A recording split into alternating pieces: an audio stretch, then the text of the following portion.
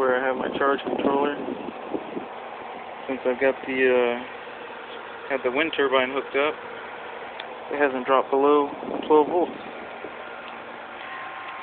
I have uh, four car batteries down here all hooked up. To create one big 12 volt battery. For right now, I'd like to get the deep cycle batteries. I have my wind turbine. Made it from a ceiling fan. Does alright. Here I have my solar panels. I got two of the solar panel kits from Harbor Freight.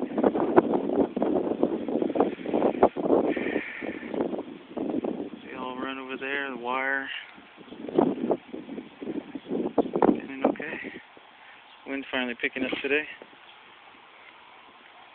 It's just a temporary wire right now, but I have the uh, wind turbine plugged right into the batteries directly. And the solar panels, both sets go through this.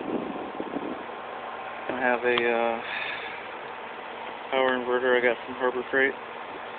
That runs on in straight on into my house right over there. With an outlet. Been running all day long.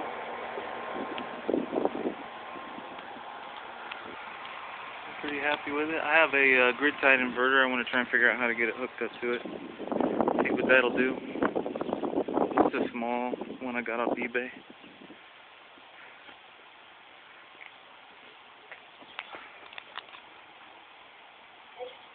Not too shabby.